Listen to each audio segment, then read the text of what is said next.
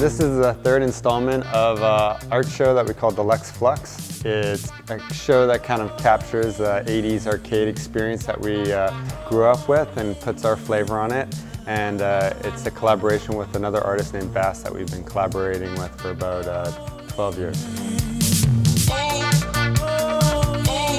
First time we did the show was in London and it's again sort of started from trying to build this environment and it kind of went through these found objects to, uh, to pinball to, to an actual you know video arcade and um, it really encompasses not only the, the experience of you know being in the space itself and really trying to transform that but also you know treating the arcade cabinets as uh, sort of painted surface sculpture um, the the video uh, experience. So we redo all the all the actual uh, video games themselves, the sound, every sort of element is, uh, is is taken and sort of put through our artwork.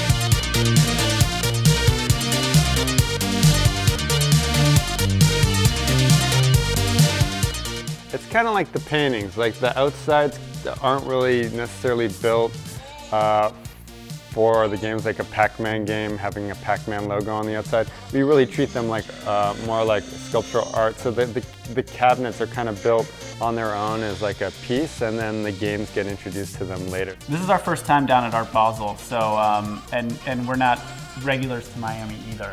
I think one thing that was really important was that this felt like it sort of popped up out of the middle of um, all the sort of uh, souvenir and head shops and all these kind of things down there.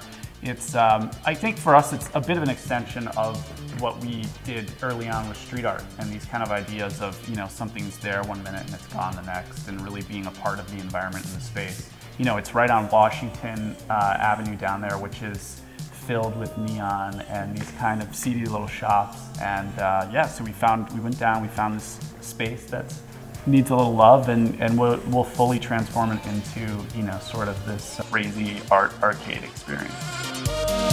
Thank you.